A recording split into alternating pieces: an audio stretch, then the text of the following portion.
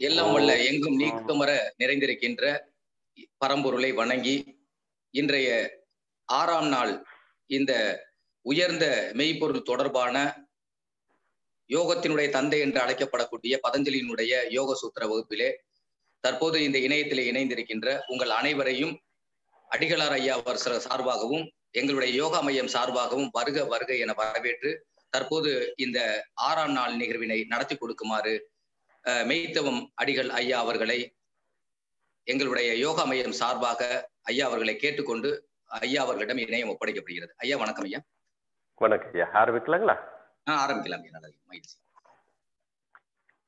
ஆய கலைகள் அறுபத்து நான்கினையும் ஏய உணர்விக்கும் என் நம்மை தூய உருப்பளிங்கு போல்வாள் என் உள்ளத்தினுள்ளே இருப்பளிங்கு வாராதிடர். கல்லாலின் புடைய வந்து நான் மறை ஆரங்க முதல் கற்ற கேள்வி வல்லார்கள் நால்வருக்கும் வாக்கு இறந்த பூரணமாய் மறைக்கு அப்பாலாய் எல்லாமாய் அல்லதுமாய் இருந்ததனை இருந்தபடி இருந்து காட்டி சொல்லாமற் சொன்னவரை துதியாமற் துணிந்து பவத்துடக்கி வெல்வாம். யோகேன சித்தஸ்ய பதேன வாசாம் மலம் சரீரஸ்ய து வைத்தியகேன யோபாகரோத் பிரவரம் முனீனாம் पतंजलि पतंजलि प्राणदोस्मी। अथ योगानुशासन। योगचित्तवृत्तिरोध तदा द्रष्टुस्वरूपे अवस्थान। वृत्तितारूप्यमितरत्र वृत्त पञ्चदय्यः क्लिष्टा अक्लिष्टाः प्रमाण। विपर्यय। विकल्प। निद्रा। स्मृतयः प्रत्यक्ष। अनुमान। आगमाः। प्रमाणानि। विपद्ययो मिथ्याज्ञान। मिथ्याज्ञानम्। अदद्रूप। प्रतिष्ठम्।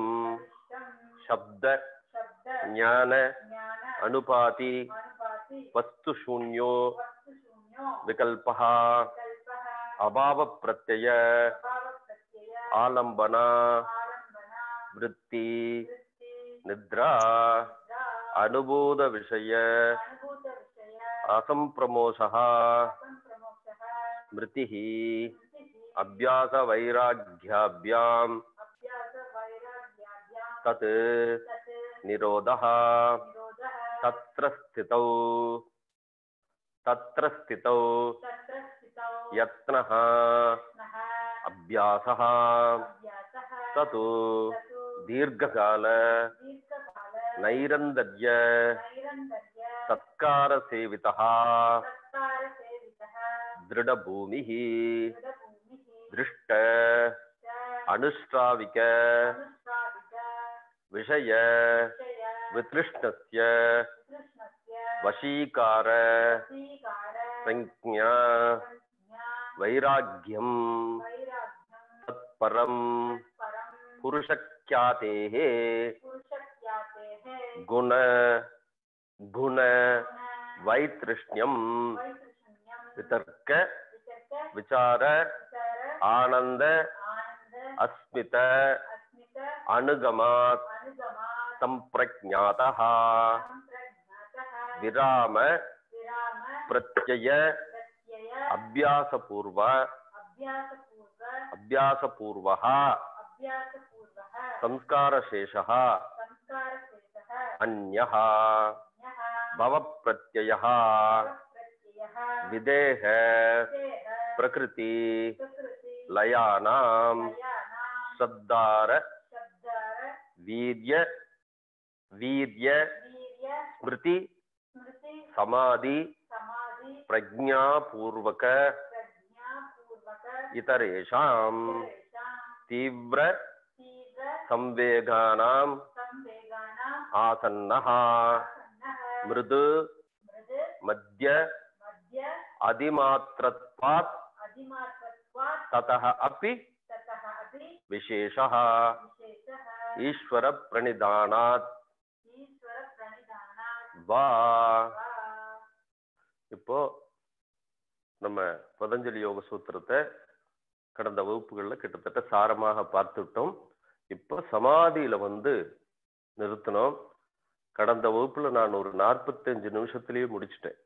காரணம் என்னென்னா ஒரு புது டாப்பிக்கை தொட்டுட்டு அதை ஒரு பாதியில் நிறுத்தினா நிறைய குழப்பங்கள் ஏற்படும். அதனால இந்த நான்கு வகை சம்பிரஜாத சமாதிய லேசா அறிமுகம் மட்டும் கொடுத்துட்டு ஹோல்டு பண்ணியிருந்தேன். இப்போ சாரத்தை ஒரு ரெண்டு நிமிஷத்துல பார்ப்போம். சித்த விருத்தி நிரோதகா. இதுல ஆரம்பிச்சு. சித்தவருத்தி நிரோதம்னா பூர்ண விருத்தி நிரோதம் அல்ல ராஜசிக தாமசிக விருத்தி நிரோதகா. என்ன காரணம்? அவைகள் கிளிஷ்டம் தருவதால். கிளிஷ்டம்னா யதா யா கிளிஷ்யந்தி தா கிளிஷ்டாக எது துன்பத்தை தருகிறதோ அது கிளிஷம் எது கிளிஷ்யந்தி கிளிஷ்ணம்னா அந்த துக்கம். துக்கத்தை தர்ற அந்த விருத்திய. ஏன் பூராத்தையும் பண்ணலைன்னா சாத்வீக விருத்தி வேணும். சாத்வீக விருத்தியில தான் இந்த புருஷக்கியாதின்னு சொல்லக்கூடிய புருஷனை அறிதல் என்கின்றது நிகழ்வு சரி அறிந்தாலும் அதை பற்றி கொண்டு சித்த சமாதானம் அடையாமல் போவோமே ஆனால் இப்போ புருஷக்கியாதி ஏற்பட்டுச்சு அதோட முடிஞ்சிடுதா அப்படின்னா இல்லை. அங்கதான் மற்றதுக்கும் இதுக்கும் இருக்கக்கூடிய வேறுபாடு புருஷக்கியாதி வந்தாலும் புருஷனை தரிசிச்ச பிறகும் குணங்களோடு சேர்ந்துதான் அவன் இருக்கின்றான். ஆகியனால் காலங்காலமாக குணங்களோடு இருந்து இருந்து இருந்து பழக்கப்பட்ட ஒரு அடிக்ஷன் இப்ப டி அடிக்ஷன் ப்ராசஸ்ல நம்ம புகுந்தாகணும்.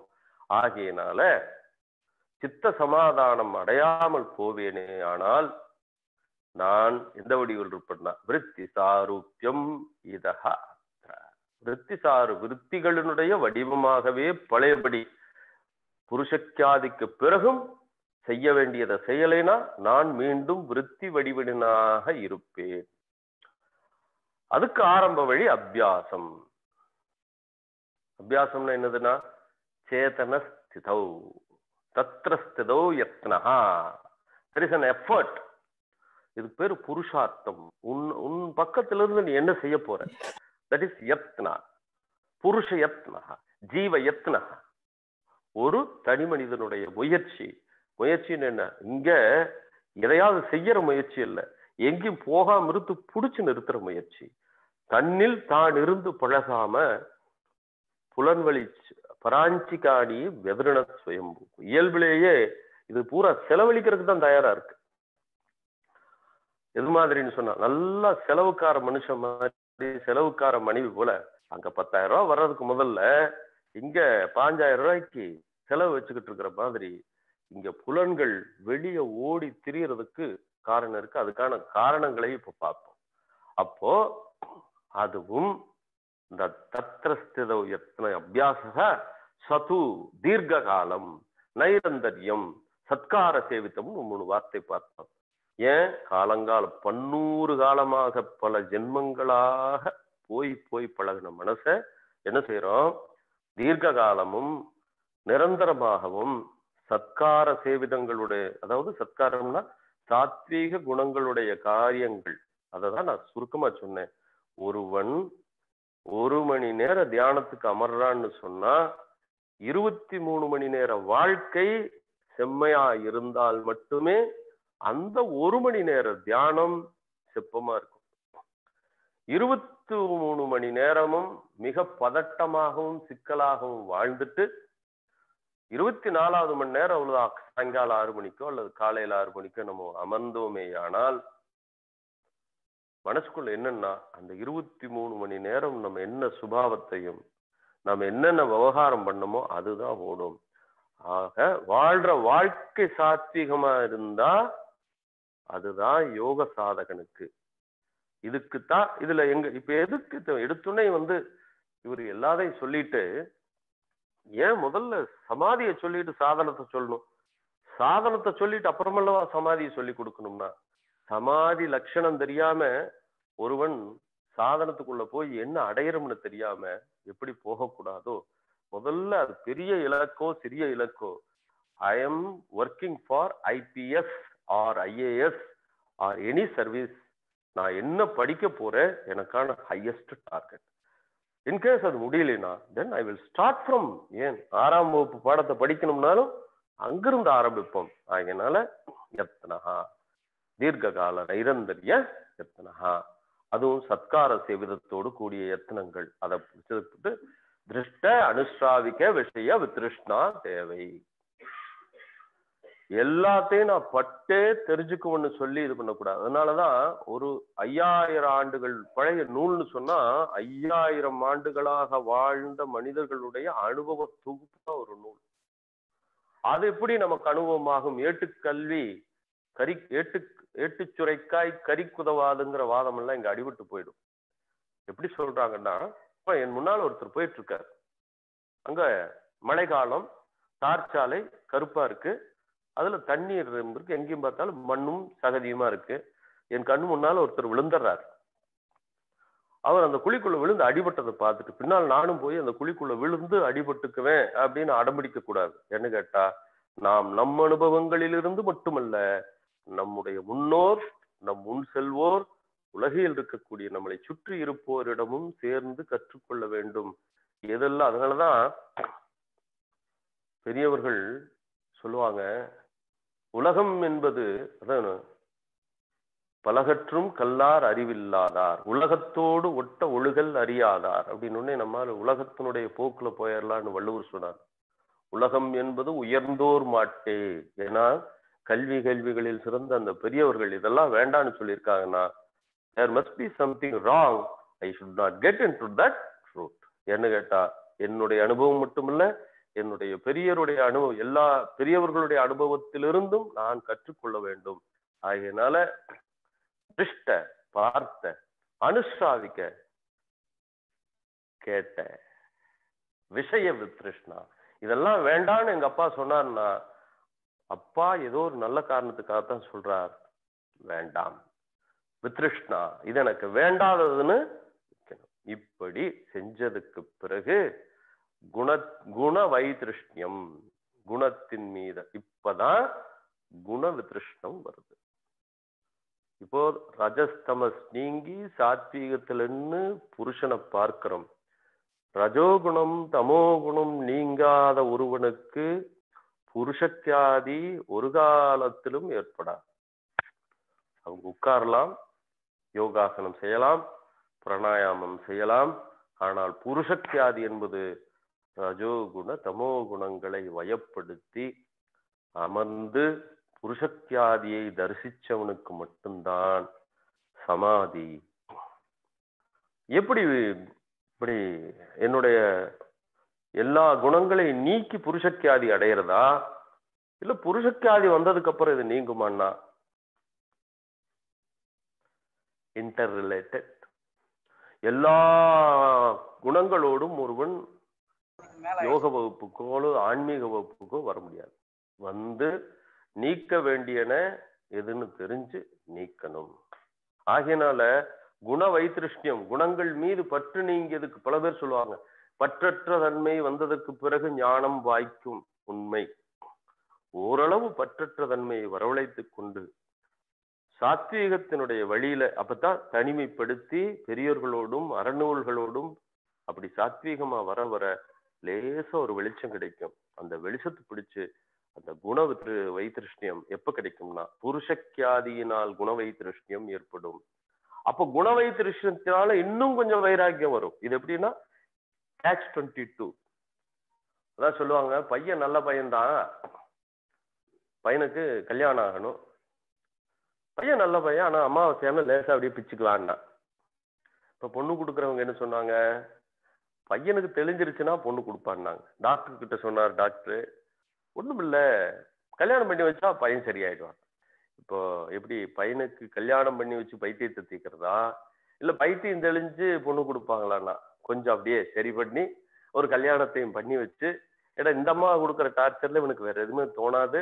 அதனால கேட்ச் டுவெண்ட்டி டூ ஒன்றை ஒன்று சார்ந்த காரணிகளாகத்தான் போகும். அதனாலதான் இப்படி சாஸ்திரம் கொஞ்சம் குண கொஞ்சம் குண மேம்பாடு முதல்ல சாத்விக குணம் பிரதானமா வாழ்றது அப்புறம் சாத்விக குணத்தையும் லட்சியம் பண்றது. இப்ப அந்த இடத்துலதான் வருது. இன்னும் குணங்கள் முற்றிலும் நீங்கவில்லை. இது வரைக்கும் போன வகுப்புல பார்த்தோம். இப்போ சமாதியில ரெண்டு வகை. ஒண்ணு சம்பிரஜாத சமாதி இன்னொன்னு அசம்பிரஜாத சமாதி. இதுவரை தனதல்லாதவற்றை தனதல்லாத நான் புருஷன். என்ன சாமி திரும்ப திரும்ப நான் புருஷன் புருஷன்றீங்க? அப்படி ஒரு தெளிவு இல்லையே நான். நீங்க வேற யாரும் இல்ல. உயிர்த்தன்மையுடைய ஆளு. இந்த உயிர்த்தன்மையுடையவன் தான் புருஷன்னு சொல்றது. இங்க இருக்கக்கூடிய என்னுடைய உடம்பு இருக்கிற உடம்பு மட்டும் உயிர்த்தன்மையால இயங்கல. இந்த உடம்புல இருக்கக்கூடிய முடியிலிருந்து கால் இருக்கக்கூடிய நகம் வரைக்கும் உயிர் இருந்தா தான் வளரும். எப்படி உயிர்த்தன்மை இருந்தா தான் இந்த உடம்பு இயங்குதோ அது போலத்தான் உயிர்த்தன்மை இருந்தா தான் மனசும் இயங்கும். அறிவு வேலை செய்யும் சித்தம் ஒருமைப்படும் அல்லது பலவா ஓடும் என்று மனம் புத்தி சித்தம் அகங்காரம் நாளை சேர்த்து தான் பதஞ்சலி அதுக்கு பேர் என்ன? அந்த கரணம் புறக்கரணங்கள் இது. அந்த கரணத்தை தான் அவர் டீல் பண்றதே. அப்ப இதுக்கு சேதனத்தின் உதவியோடு தான் அச்சேதனங்கள் செயல்படுகிறது. இப்ப பிரச்சனை என்னன்னா சேத்தன அச்சேத்தன சையோகா. ரெண்டும் பிரிக்க முடியாது இணைஞ்சிருக்குது. இதுக்கு என்ன ஆதாரம்னா நான் எப்படி ஒரு இரண்டு சக்கர வாகனத்துல ஒரு ஐநூறு சிசி வண்டியில உட்கார்ந்த உடனே என்னை ஒரு நூறு சிசி பைக் போச்சுன்னா இந்த ஐநூறு சிசிய என்னுடைய சிசியா எடுத்துக்கிட்டு ஹண்ட்ரட் சிசியை பார்த்து ஒரு ஈகோ வருது இல்லையா? This is called identification with inner thing is called ego நல்லா பிடிச்சிக்க. இன்னர் திங் இப்ப பல பேருக்கு ஈகோனா பொருள் சொல்ல தெரியாது. நான் நினைக்கிறது. நான் நினைக்கிறது தப்பு இல்ல சேதனத்தை நான் நினைச்சா ஒரு பிழையும் இல்லை. இப்போ அகங்காரம்னா என்னன்னு பார்த்தீங்கன்னா ஐநூறு சிசியினுடைய செயல்பாட்டை எப்ப நீங்க என்னோட செயல்பாடாக நான் ஐநூறு சிசி உடையவன் நான் ஹார்லி டேவிட்சன் நீங்க பாதிச்சுட்டீங்கனாலோ நான் புல்லட். உங்க வண்டியை முந்தும் போது உங்களுக்கு என்ன ஆகுதுன்னா அந்த புல்லட்டோட இருக்கக்கூடிய அந்த சையோகம் இணைப்பு ஒரு ஸ்பெண்டரோ மற்ற பைக்கோ போகும்போது என்ன நீ என்னோட பெரியவனான்னு சொல்லி அந்த ஒரு ஈகோ தள்ளுது பார்த்தீங்களா அது எதனோட ஈகோனா அந்த ஜட பொருளாகிய கார் அல்லது அந்த ஜட பொருளாகிய பைக் அல்லது அந்த ஜட பொருளாகிய வீடு அல்லது அந்த ஜட பொருளாகிய உத்தியோகம். இதை நீங்க எந்தெந்த ஜட பொருளோட சொத்தீங்கன்னா அந்த அகங்காரா? அகங்காரம் அகங்காரம்னா வெறும் இல்ல. அகம் கரோதி இது பாவகா ஜடத்தின் ஆற்றலை ஒரு ஜடத்தினோட செயலாற்றல். இப்போ ஒரு பதவி இருக்கு. நான் ஒரு வார்டு கவுன்சிலர்.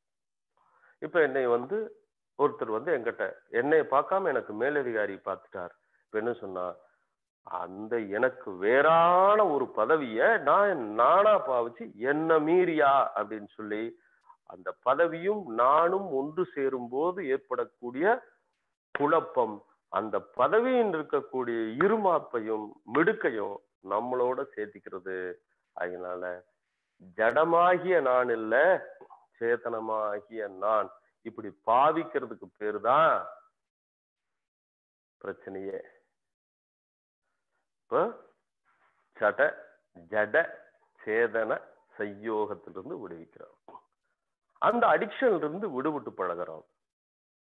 இந்த நல்ல குணவற்றின் மீது நல்ல குணம் அற்றவற்றின் மீது முழு கவனமும் செலுத்தி அப்போ தன்னை தன்னை அறிந்தால் தனக்கு ஒரு கேடு இல்லைன்னு சொல்லுவோம் இல்லையா? தன்னை சேதனமாக அறிந்தால் தன்னை அறிவுமயமாக. தானாறு நான் அறிவுமயமான உயிர். தன்னை உயிரா புரிஞ்சுக்கிட்டீங்கன்னா அழிவே கிடையாது. ஏன்னா அது அறிவுமயமானது அது அழியவே அழியாது. இந்த உயிரோட எதையாவது சேர்த்து நீங்க என்னைக்கு இருந்தாலும் அந்த பைக்கில் இருந்து இறங்கி ஆகணும். அந்த வீட்டுல இருந்து காலி பண்ணி ஆகணும். அல்லது அந்த பதவியிலிருந்து எப்படி விடுபடணுமோ அது போல குடம்பை தடு தனித்தொழிய புட்பறந்தற்றேன்ட்டார் இது அப்படியே இருக்க இருக்க பறவை பறந்து போன மாதிரி என்னைக்கு இருந்தாலும் இதுக்கான எதுவும் நமக்கு சொந்தம் இல்லை. ஊரே சொன்னாலும் இந்த ஜடமாக உன்னை தெரிஞ்சுக்கிட்டா உனக்கு கேடுதான் உனக்கு சாவுதான் உன்னி யூ ஆர் லிமிட்டட் கேடுன்னா இங்க லிமிட்டட் தன்னை சேதனமாக அறிவுடைய உயிர் பொருளாக இருந்தால் தனக்கு ஒரு கேடில்லை. தன்னை சேதனமாக அறியாமல் இந்த மூன்று குணங்களில் ஒன்றாக தமோ குணமாகவோ ரஜோ குணமாகவோ சாத்விக குணமாகவோ அறிந்தாலும் தானே கெடுகின்றான். தன்னை சேதனமா புரிஞ்சுக்காம தன்னை அறியாமல் குணமாக அறிந்து தானே கெடுகின்றான். தன்னை அறியும் அறிவாகிய புருஷக்கியாதியை அறிந்து இப்ப என்னவா இருப்பான்னா தன்னை அர்ச்சிக்க யாரா தியானம் பண்றாள்னா நான் தான். எனது எதைடா தியானம் பண்ணுவேன்னா என்னத்தான். தின்யா இது வரைக்கும் எங்களை எல்லாம் போன பக்கம் அதை பாரு வெளிச்சத்தை பாரு புள்ளிய பாரு ஏதாவது ஓட்டைய பாரு அல்லது ஏதாவது விக்கிரகத்தை பாருன்னு சொன்னாங்க. நீங்க உன்னைய பாருங்கண்ணா இன்னும் சில பேர் கண்ணை இப்படி சொருகுன்னா கீழே சொருகு மேல சொருகு பக்கவாட்டுல சொருகு மூக்கு நுனிய பாருன்னா. அப்பப்பா இத நான் சொல்லிங்க தாய்மானவர் அதனால அதையெல்லாம் இப்ப இங்க இழுக்க விரும்பல. எதுவும் பிழை இல்லை முயற்சி செய்தல் பிழை இல்லை. ஆனால் பதஞ்சலியினுடைய இதயத்தின்படி அவருடைய கூற்றுப்படி உன்னை சேதனம் அறிஞ்சு உன்னப்பார் அதனால இப்போ அங்க வர்றார். அப்படி அந்த தன்னை அர்ச்சிக்கிறார். எப்படி அர்ச்சிக்கிறன்னா இப்போ முதல்ல இது வரைக்கும் எனக்கு பருப்பொருள்களை பார்த்து பார்த்தே பழக்கப்பட்ட நான் எடுத்துனே சேதனத்தை பாருன்னா ஒண்ணும் புரியாது. இது நமக்கே புரியும் போது அவ்வளவு பெரிய மகான் பதஞ்சலி மகரிஷிக்கு புரியாதா? ஆயினால் என்ன பண்றார் முதல்ல இந்த பாண்டேஜ்ல இருந்து வெளியே வா. வெளியே வந்து இப்ப இந்த உடம்புக்குள்ள உயிர் இருக்கு இல்லையா? அது மாதிரி இங்க பாத்தியா? சந்திரன். சந்திரன் மிக அறிவுபூர்வமா ஏற்கனவே இதெல்லாம் நான் நிறுவி இருக்கேன். சந்திரன் அறிவுபூர்வமாக இயங்குகிறது. அதுக்கு பின்னால் இருக்கக்கூடிய சேதனத்தை பார். ஏன்னா எங்கெல்லாம் பொருள்கள் சுய இயக்கத்தோடும் கட்டுப்பாடோடும் வழிமுறையோடும் நியதியா மிக கிரமமா ஒரு நாள் நம்ம ஆறு மணி ஏழு மணிக்கு வகுப்பு தொடங்குறோமே இல்லையோ சூரியன் கரெக்டா ஷட் டவுன் பண்ணிடுவார்.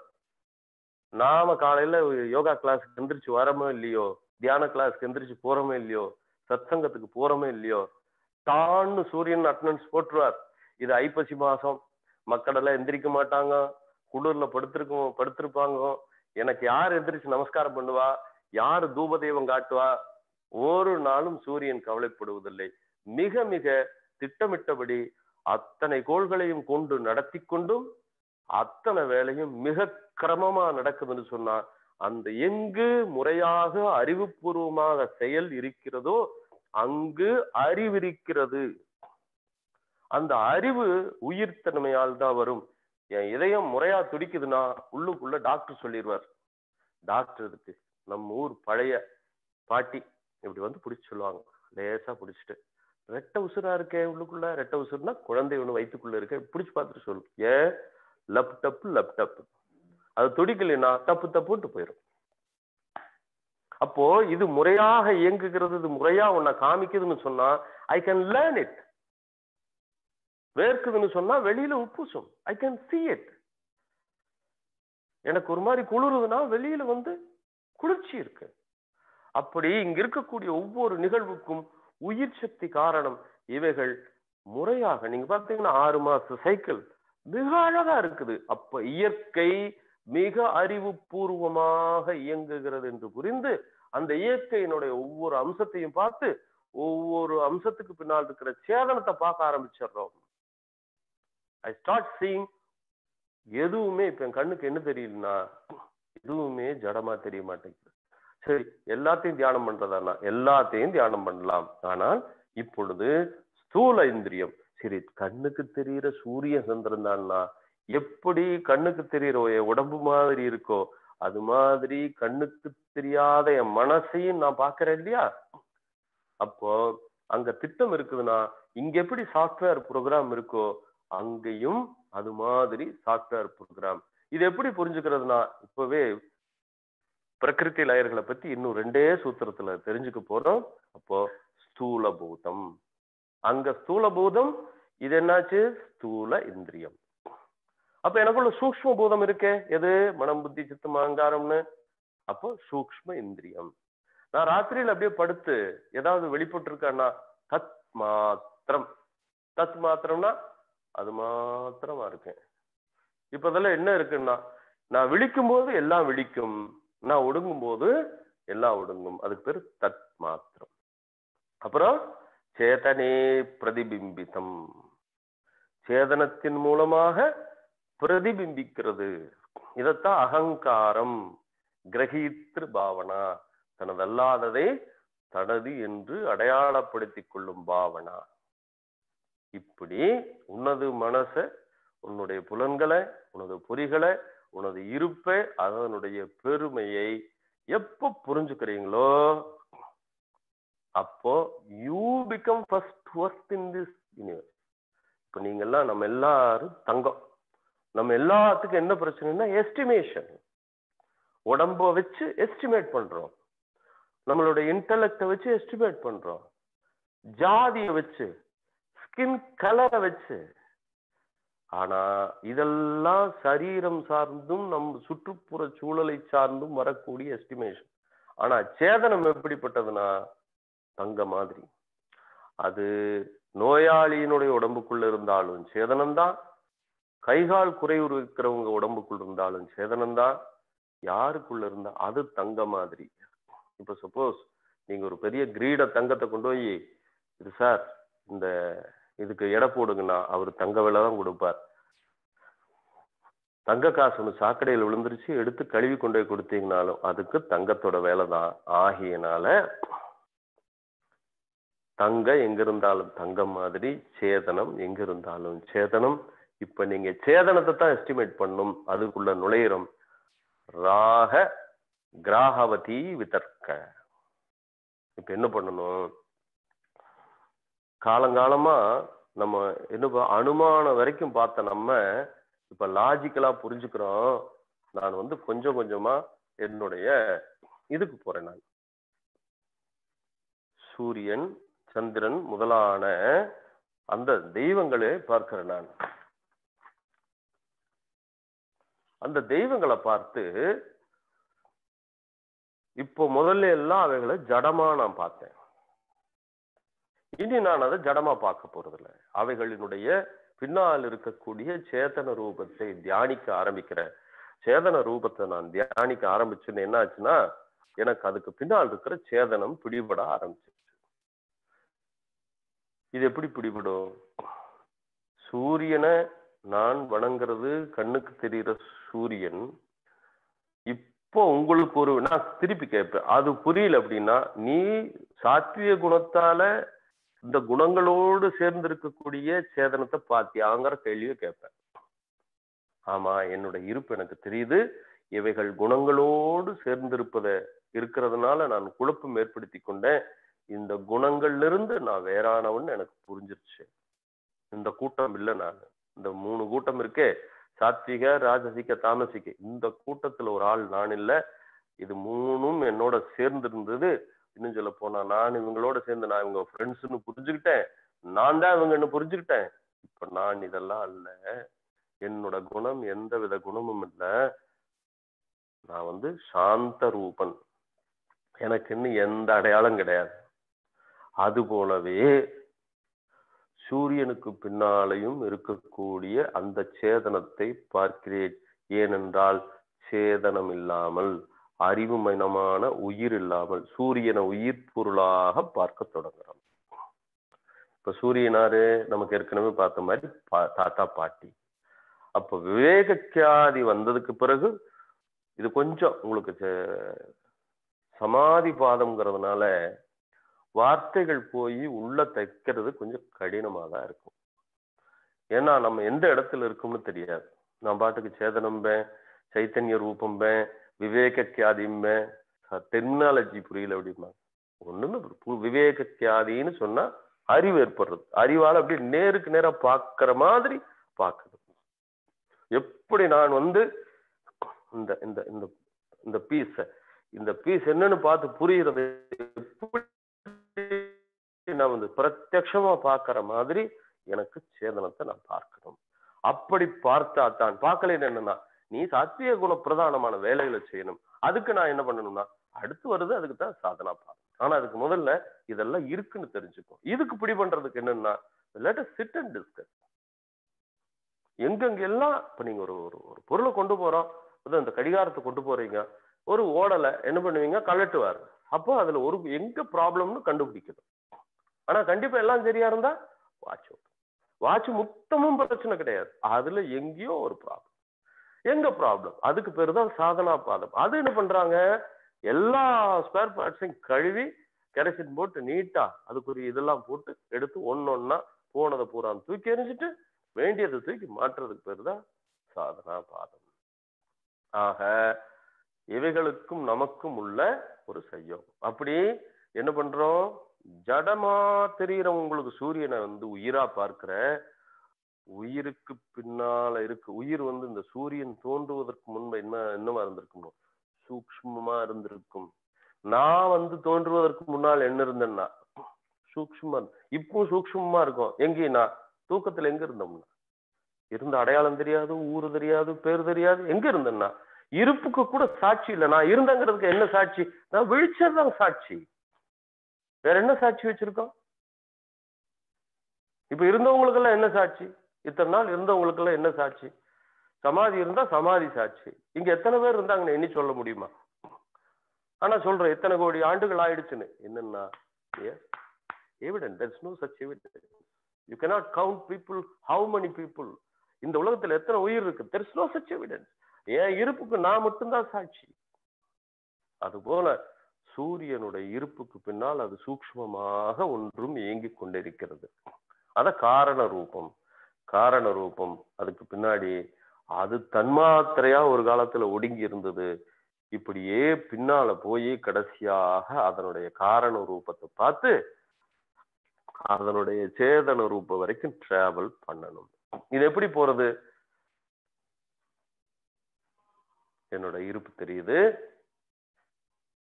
என்னோட சரீரத்தோட நான் இருக்கிறத புரிஞ்சுக்கிறேன். இது அப்படியே தியானமாவே அடுத்த வகுப்புல நான் செஞ்சு காட்டுறேன். அதுக்கு பிறகு என்னுடைய மனசை பார்க்குறேன். என் மனசு இதை நினைக்கிறதுக்காக உட்கார்ந்து இருக்குது ஆனா வெளியே போய் வர்றது ஐ எம் த விட்னஸ் இதுல ஒரே விட்னஸ் நான் மட்டும்தான்.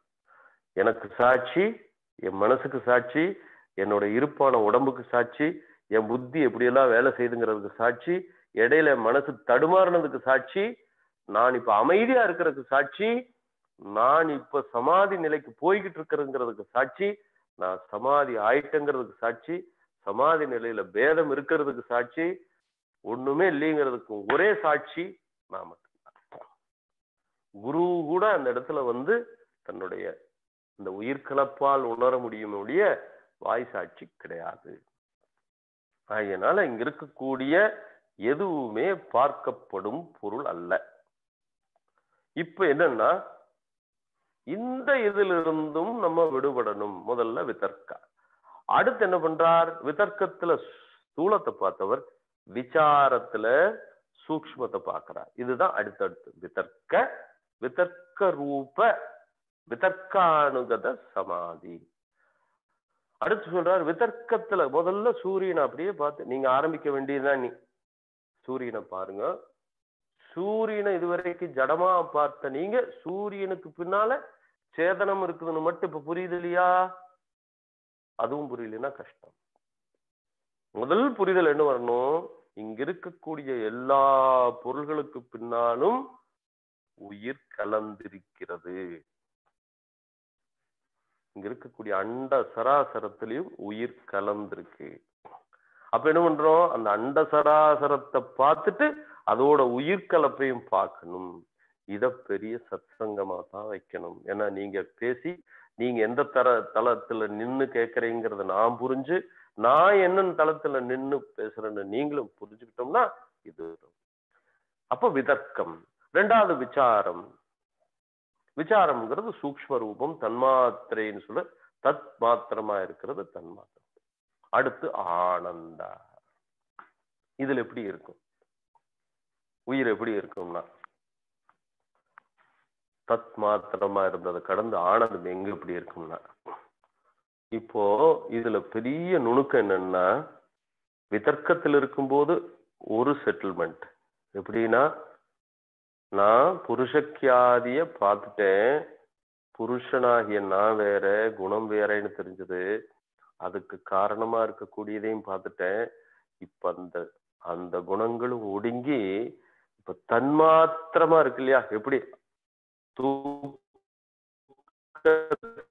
அப்படி ஒடுங்கி நான் மாத்திரமா இருக்கிற மாதிரி சூரியனுக்கு பின்னாலே ஒடுக்கி இருக்கக்கூடிய சேதனமும் நம்மளதும் ஒண்ணுன்னு பார்க்கும்போது இங்க அடிக்ஷன் வர்ற கூட வாய்ப்பு இருக்கு.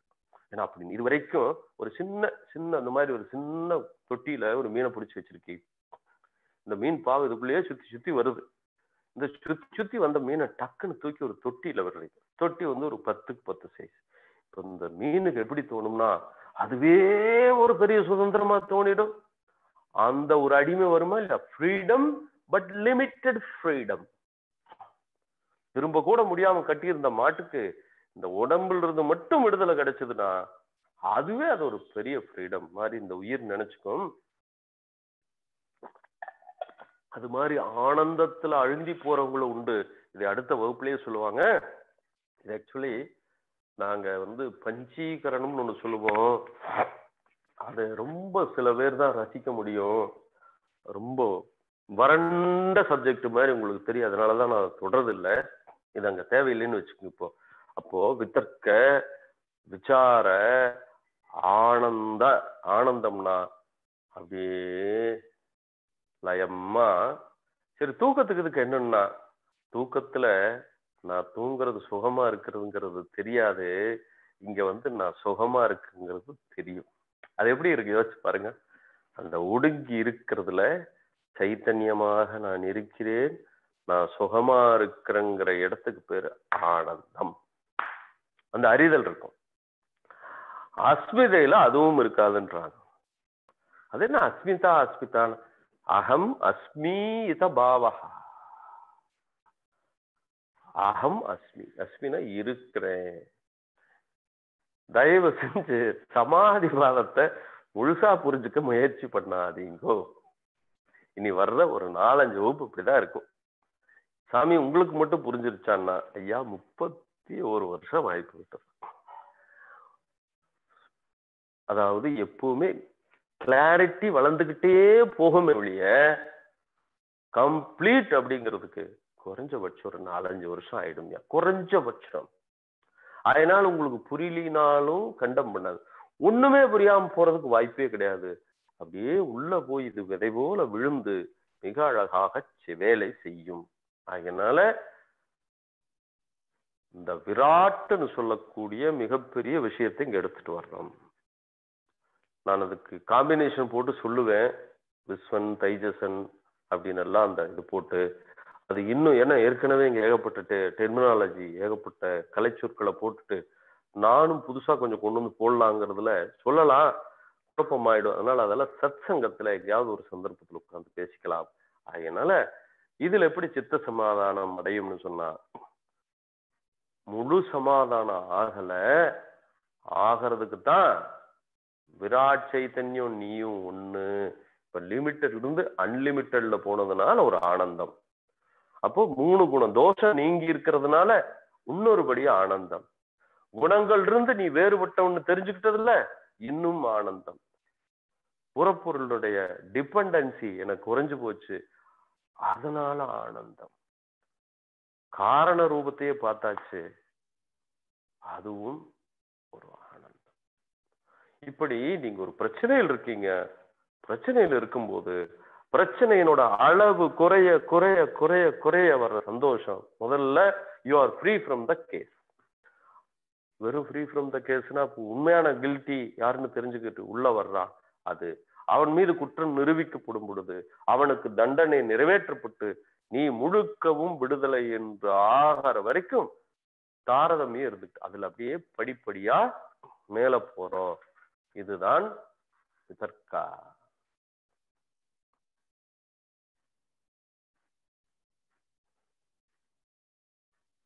அதுக்கு தான் நம்ம லாஜிக்கா நிறைய விஷயத்த போன வகுப்புல சொன்னேன்.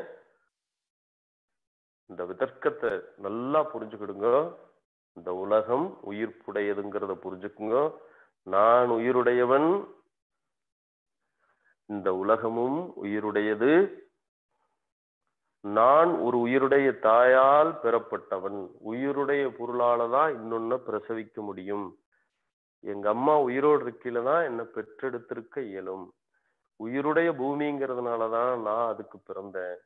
உயிருடைய சூரியன்கிறதுனால தான் அது ஒரு உயிருடைய பூமியை பிறந்தது. இப்படி படிப்படியாக நான் சூரியன் வரைக்கும் அடைஞ்சு எப்படி எனக்கு சேதனம் இருக்குதோ? அது மாதிரி எங்க அம்மாவுக்கும் சேதனம் இருந்தது. எங்க அம்மாவுக்கு மாதிரி இந்த பூமிக்கு சேதனம் இருக்கு. இதுக்கு மாதிரியே சூரியனுக்கும் சேதனம் இருக்குன்னு சொல்லி தர்க்கத்தால ஐ அரைவ் விதர்க்கேன. அந்த அனுகதம் இருந்தது. இதுல என்ன எனக்கு கிடைச்சதுன்னா ஒரு பாவனை வாய்க்கின்றது. இதைத்தான் நான் பாவனை. இப்போ எங்க அம்மாங்கிற ஃபீலிங் இஸ் அ பாவனா. ஒரு அந்யோன்ய குணம் ஒரு சம்பந்தம் வருது. இது வரைக்கும் சூரியனை ஒரு நெருப்பு பந்து மாதிரி பார்த்துக்கிட்டு இருந்த நீங்க அல்லது சந்திரனை ஒரு நெருப்பு மாதிரி பார்த்துட்டு இருந்த நீங்க அல்லது இந்த பூமி தாயை நெருப்பு மாதிரி பார்த்துக்கிட்டு இருந்த நீங்க உங்களுக்கு இப்பொழுது ஒரு தாய் எங்க அம்மாவோட அம்மாவை இன்னைக்கு அறிமுகப்படுத்தியிருக்கேன்னு வச்சுக்கோங்க. உங்களுக்கு ஒரு முப்பது வயசு. உங்க அம்மாவுக்கு ஒரு ஐம்பது வயசு. அம்மா இன்னும் ஒரு கியூரியாசிட்டி வரும் இல்லையா? அம்மா உங்க அம்மா யாருன்னு தெரியும் போது இருன்னு சொல்லி ரொம்ப நாள் பார்க்காது இருந்த ஒரு பாட்டிய நீங்க வந்து போய் பார்க்கும் பொழுது அந்த பாட்டிக்கு மேல உங்களுக்கு ஒரு வாஞ்சை வரும் இல்லையா? அது வரணும். அப்ப இந்த தெற்க விசாரத்துல என்னன்னா அந்த விராட் புருஷன் விராட் புருஷன்னா யாரு? சூரிய சந்திராதிகளுக்கெல்லாம் ஆதாரமா இருக்கக்கூடிய அந்த சைத்தன்யம் இது இப்ப எனக்கு பூமி என்னுடைய பாட்டி மாதிரியோ அல்லது அம்மா மாதிரியோ எனக்கு பாவனை வரும்போது இனி எனக்கு பூமியை காலில் கீழே வைக்கும்போது காலையில அப்படியே தொட்டு கும்பிட்டு தாயே நீ என்ன ஆசீர்வதிக்கணும். நம்பிக்கை இல்லை. அண்டர்ஸ்டாண்டிங் சூரியன் அதே மாதிரி தோணும் அண்டர்ஸ்டாண்டிங் அப்போ ஒரு பாவனை அது உயிருடைய பொருள். ஐயோ நான் இவ்வளவு நாளும் உன்னை உயிரில்லாதவனை போல நான் பாவித்து விட்டானே அப்படின்னு சொல்லி என்ன செய்வோம்னா அந்த பாவனையிலிருந்து அந்த அது வந்து என்னுடைய ஒரு அல்லங்கிற பாவனையிலிருந்து இப்ப இது மட்டுமே லிமிட்டடா இருந்த நான் டிரான்சண்டாய் வெளியே போய் இவைகளெல்லாம் என்னுடைய தாய் தந்தையர் என்று பார்க்கக்கூடியது. அந்த வியூ வந்த உடனே கூடவே ஒரு பாவனை வருது. இது நான் அனுமானிக்கல. I started seeing just like I witness it இதை நான் எப்படி உங்களுக்கு புரிய வைக்கிறதுன்னு பல வகையில நான் சொல்றேன். ஐ ஸ்டார்ட் விட்னஸிங் ஒன்னு எனக்கு பாவனை கிடைக்கிறது. சரி இந்த பாவனையை வச்சு என்ன பண்றதுன்னா பாவனையினால் எனக்கும் அதுக்குமான சம்பந்தம். எனக்கு என்னங்கிறது ஒரு சம்பந்தம் ஏற்படுது. இப்ப நான் உட்கார்ந்து அப்படியே பாக்குறேன் என் தாய் அவளோட சேதனம். நானும் சேத்தனம் எனக்கு அவங்களுக்குமான சம்பந்தம். இப்ப இந்த சம்பந்தத்துக்கு பிறகு எனக்கு ஒரு தியான வஸ்து கிடைக்குது. இது வரைக்கும் எல்லாரும் தியான வஸ்து எதுன்னு சொல்லுவாங்க? ஏதாவது ஒரு ஆப்ஜெக்ட சொல்லுவாங்க. இப்போ நீ ஆப்ஜெக்ட் தியானம் பண்ணாலும் பண்ணு. ஆனா அந்த ஆப்ஜெக்டுக்கு பின்னால் இருக்கக்கூடிய எந்த ஆப்ஜெக்ட் புறப்பொருள் ஒன்று இருக்கு. புறப்பொருளை சுடரப்பாருன்னு சொல்லாத. சுடருக்கு பின்னால் இருக்கக்கூடிய அந்த அறிவு மயத்தப்பார். அந்த சூரியன்கிற அந்த இது என்னையே உருவாக்கக்கூடிய அளவுக்கு உயிர் சக்தி வாய்ந்த அந்த சேதனம். அந்த இப்ப நம்ம சொ- பக்தியில சொன்னா அந்த தெய்வம். என் தாயை பாக்குற மாதிரி எனக்கு எல்லா வளமும் கொடுத்த அந்த தாய். கையெடுத்து கும்பிடும் பொழுது பாவனை. அந்த பாவனையினால வேற பெனிஃபிட் எல்லாம் இருக்கு. லௌகீகமா பக்தியா வேற எல்லாம் இருக்கும். நாம் இங்க எதிர்பார்க்கிற பெனிஃபிட் ஆகியனாலதான் இந்த ஒரு சில சம்பிரதாயமே என்னன்னா காயத்ரி. நீங்க எல்லாரும் சொல்லுவாங்க. இந்த காயத்ரி ஜபம்னு சொல்லி. ஓம் பூஹு புவஹா சுவஹா. அந்த மந்திரம் கேள்விப்படும் ஓம் பூர்புவஸ் தத் சவிதுஹு. சவித்துன சூரியன் வரேண்யம் வரேண்யம் சவித்துகு அந்த ஒளிபுருந்தி அந்த சேதனம் ஓம் தத் தத்சவிதுர்வரேண்யம் பர்கஹா சூரியஹா தேவசிய தீமகி. அந்த அறிவை அந்த அறிவை எனக்கு வழங்குவானாக. வர்க்கோ தேவசிய தீமகின்னு எனக்கு கொடுப்பாயாக. தீயஹா யஹா ந பிரச்சோதயா அதை விரிவா நான் ஒரு சின்ன வகுப்பாவே சொல்றேன். நான் இழுத்துறோம். இப்போ அப்ப சூரிய தேவனை வந்து உயிர் பொருளாக நான் கண்டு விட்டேன் அந்த உயிர் பொருளுக்கும் எனக்கும் பொதுவா இருக்கிறது சேதனம்னு கண்டுட்டேன். இப்ப எனக்கு அவங்களுக்கு ஒரு பாவனை இருக்கு. நான் தியானிக்க தொடங்கிட்டேன். ஆகையினால் எனக்கு ஒரு தியான வஸ்து கிடைச்சிருச்சு அப்படி நீங்க சூரியனை தியானிக்கலாம் காலையில. சந்திரனை தியானிக்கலாம். என்ன சார் ஒரே ஒன்னதான் தியானிக்கணும்னு? நம்ம ஒண்ணுதான் தியானிக்கிறோம். நம்ம தியான வஸ்து சேதனம் மட்டுமே. இப்ப நமக்கு சிவன் கிடையாது விஷ்ணு கிடையாது. எதை வேணாலும் கூப்பிடலாம் என்ன கேட்டா அந்த சிவ ரூபத்துக்கு பின்னால் இருக்கிற சைத்தன்யம் எனக்கு வேணும். விஷ்ணு ரூபத்துக்கு பின்னால் இருக்கிற சைத்தன்யம் தான் வேணும். இன்னும் எந்த தெய்வத்தை கொண்டு வந்தீங்கனாலும் உலகத்தில் இருக்கிற எந்த தெய்வத்தை கொண்டு வந்தாலும் எனக்கு அதற்கு பின்னால் இருக்கக்கூடிய சைத்தன்யம் தான் என் கண்ணுக்கு தெரியும். ஆகையனால இப்படி பண்ணக்கூடிய இது இருக்கு. ஆனாலும் இங்க பிரச்சனை என்னன்னா நான் தியானிக்கப்படும்ங்கிற அந்த வஸ்துங்கிற பேதம் இருக்கிறதுனால இந்த சமாதிக்கு பேரு சம்பிரஜாதம் சமயக் பிரஜாதா இது சம். நான் தியானிக்கிறேன் என்கின்ற வேலை இருக்கும். அப்போ இப்படி விதர்க்கத்துல போய் விதர்க்கத்துல தெளிவு விட்டு விசாரத்துக்கு போய் விசாரத்துல என்ன இருக்கக்கூடாது அதுலயும் சம்சயம் விபரியம் எல்லாம் இல்லாம ஹார்ட்வேர் டு சாஃப்ட்வேர் டிராவல் பண்ணி அப்போ முதல்ல சூரியனை பார்க்குறோம். சூரியனுக்கு பின்னால் இருக்கிற சேதனத்தை பார்க்குறோம். ரெண்டாவது அதனுடைய சூக்ஷ்ம வடிவத்தை பார்க்கிறோம். அதுக்கு பிறகு ஆனந்தம். ஆனந்தம்னு சொல்லும்போது என்ன பொருள் எடுத்துக்கூடாது மகிழ்ச்சிங்கிற பொருளை தப்பி தவறி எடுத்துக்க கூடாது. சாந்தம். இங்க என்ன சாந்தம் கிடைக்கும்? ஸ்தூல சூக்மத்தை வடிவத்தை விதர்க்க விசார ஸ்தூலத்தை விதர்க்க வடிவத்திலையும் சூக்ஷ்மத்தை விசார வடிவத்திலையும் பார்த்த நான் சேதனத்தினுடைய தன் சுரூபத்தில் தன்மாத்திர வடிவமா பார்க்கறது ஆனந்தம். அப்போ அப்படி அந்த தூக்கத்துல எப்படி அது மாத்திரமா இருக்கிறத பாக்குறோமோ அது போல இவைகளும் ஒரு மனுஷனுடைய உடம்புல தினம் எது நடக்குதோ அதுக்கு பேரு லயம். இந்த உலகத்துல அண்ட பிரபஞ்சமும் ஒடுக்குனா அதுக்கு பேரு பிரளயம். பிரளயம்னா பல பேர் அழிவுன்னு புரிஞ்சுக்கிறாங்க. அது அப்படி இல்லை. அது ஒரு வித ஒடுக்கம். இந்த இத தரிசிக்க ஆரம்பிச்சுட்டா அது ஒரு வித சமாதி நிலை. அடுத்து என்னன்னா அஸ்மி பாவம். ஆகியனால சித்தசிய ஆலம்பனே தேச விஷயே சூக்ம விஷயா போகாஹா. இப்படி போனதுக்கு பிறகு இந்த நாலு நிலையில விதர்க்க விதர்க்க விசார ஆனந்த அஸ்மி பாவா. இந்த நாலு நிலையில வரும். இந்த நாலும் நாலு சமாதி கிடையாது. இப்படி ஒவ்வொரு ஸ்தூலம் ஸ்தூலத்திலிருந்து சூக்ஷ்மம் சூக்ஷ்மத்திலிருந்து தன்மாத்திர ரூபம் தன்மாத்திர ரூபத்திலிருந்து நான் இருக்கிறேன் என்கின்ற அஸ்மி பாவம்னு சொல்லி இது நாலு ஸ்டேஜா போகும். புரிஞ்சுக்க முடிஞ்சா புரிஞ்சுக்குங்க நான் முடிஞ்ச அளவுக்கு திரும்ப திரும்ப இது பண்ணியிருக்கேன். இதுக்கு பிறகு என்னன்னா விராம பிரத்யம் இது நிகழ்ந்ததுக்கு பிறகுதான் விராம பிரத்யய வரும். இந்த விராம பிரத்யத்தை எப்படி பார்க்கலாம்னா சேஷக அந்நயாக இங்கதான் வந்து அசம்பிரஜாத சமாதியை அறிமுகப்படுத்த போறார்.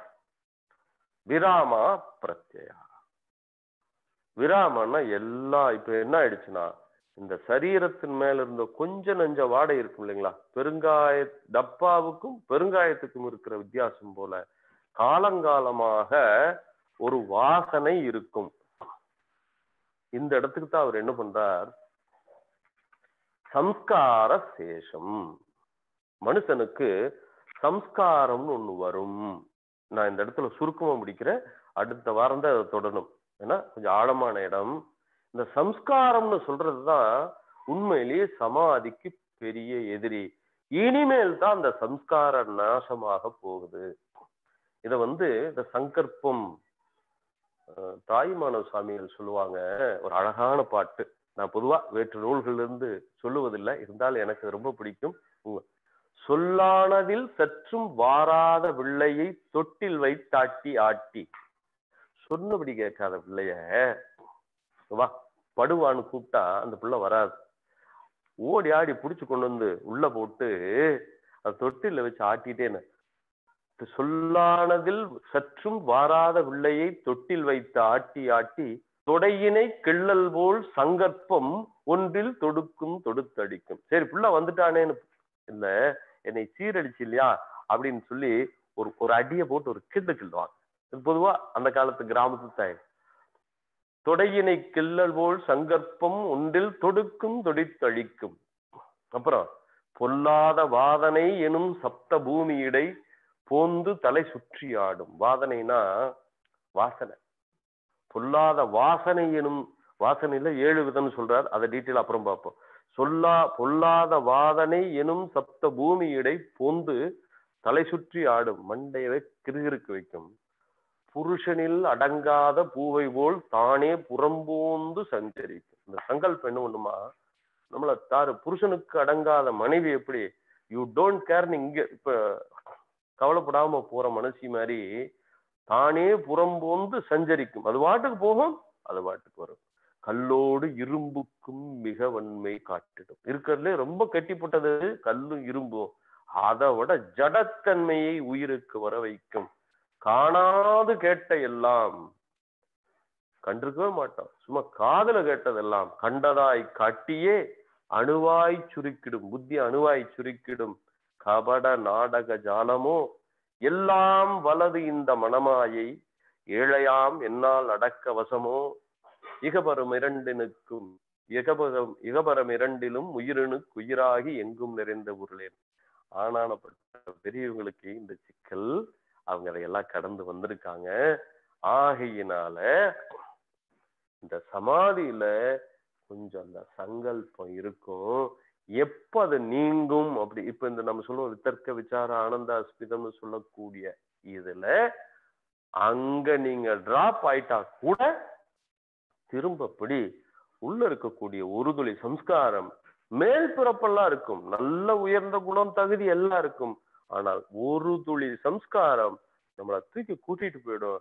அதனால அந்த பக்கம் திரும்பிடாத இந்த பக்கம் வா அப்படின்னு சொல்லக்கூடியதுதான் விராம பிரத்யய அபியாசத்தோடு கூடிய சம்ஸ்கார சேஷகா அந்யகா சார் இப்படி படிப்படியா சொல்லிட்டு போறாங்களே இது புரிஞ்சுக்க முடியலையேன்னு சொன்னா நான் எளிமையா சொல்றேன். சமாதிங்கிறது பரிபூர்ண சமாதி. அது மகிழ்ச்சி மாதிரி. நான் உங்களுக்கு சொல்றேன். ஒரு மனுஷ ஆனந்தத்தை எடுத்துக்கங்களேன். அதை புரிஞ்சுக்கிட்டீங்கன்னா ஒரு மனுஷ ஆனந்தம். நல்ல கைகாலோட ஒரு மனுஷனா பிறக்கிறது ஆனந்தமா இல்லையா? குறையில்லாத ஒரு உடம்பு. அதுலயும் ஒரு நல்ல குடும்பத்துல நல்ல தாய் தகப்பனுக்கு பிறக்கிறது அதுல இன்னும் கொஞ்சம் சந்தோஷம். அந்த நல்ல உடம்போட நல்ல தாய் தந்தையருக்கு பிறந்து இன்னொரு ஸ்டெப்பு நல்ல உடன்பிறப்புகளோட போறோம். இது இன்னொரு சந்தோஷம். அதை விட நல்ல சொந்த பந்தம் இன்னொரு வழி சந்தோஷம்.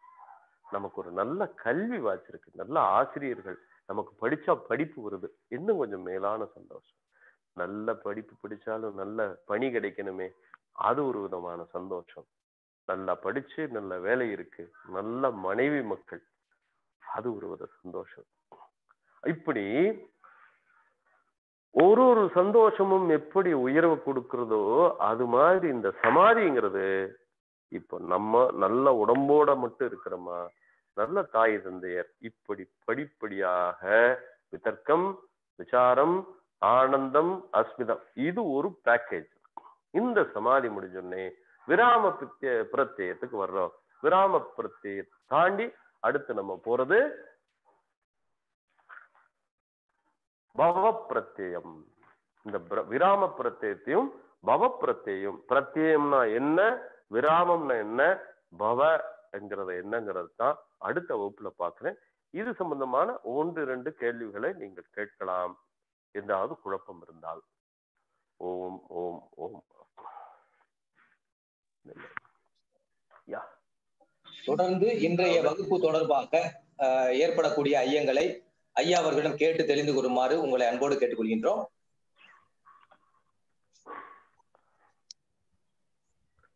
இந்த ஆறு வகுப்பு தொடர்புடைய வினாக்களை ஐயா அவர்களிடம் கேட்டு தெரிந்து கொள்ளுமாறு உங்களை அன்போடு கேட்டுக்கொள்கின்றோம். மியூட் பண்ணிட்டு நீங்க வினாக்கள் கேட்கலாம்.